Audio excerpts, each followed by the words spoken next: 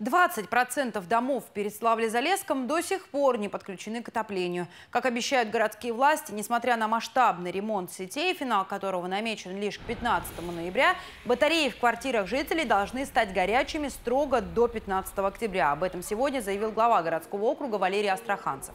На ремонт оборудования дополнительно район получит, получил 50 миллионов рублей из бюджета области.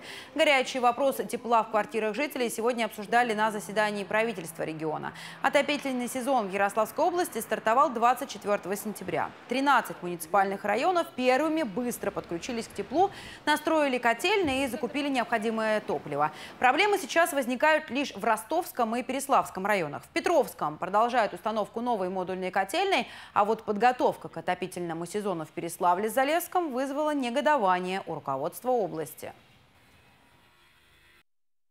Все знали свои задачи и объем работы, и к какому числу должны быть эти работы э, завершены.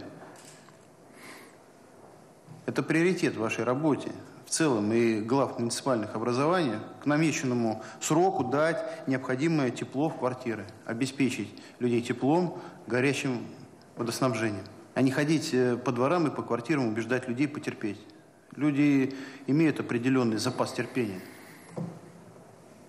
Но и мы должны как-то реагировать на это и работать, и работать планово. Все для этого есть.